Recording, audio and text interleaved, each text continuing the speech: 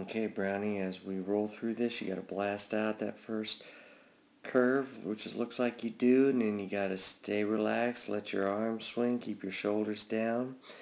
You're going to accelerate off of that uh, curve, and uh, then you're going to slingshot off that curve and uh, and uh, finish the race. Now, one thing that's going to help you here is on the curve um, we struggle a little bit when we got on this curb okay? And uh, you're gonna right there we're, we're struggling to stay on the curb. one thing that will help you is when you're on the curve here you got to put your chin two lane lines in okay?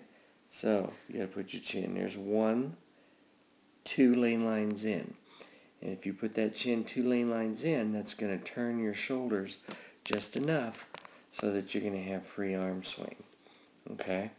So you want to think about chin, two lane lines in as you take the curve. That'll turn that, uh, that torso in and you won't have this balancing act problem here on the curve, which costs you uh, significant uh, tenths of a second as you slingshot off the curve, you probably would have been in a better position to have uh, to have caught this guy in front of you um, had you run a better uh, better curve. So that's the thing. Put that chin or put your nose two lane lines in on the curve. Look two lane lines in.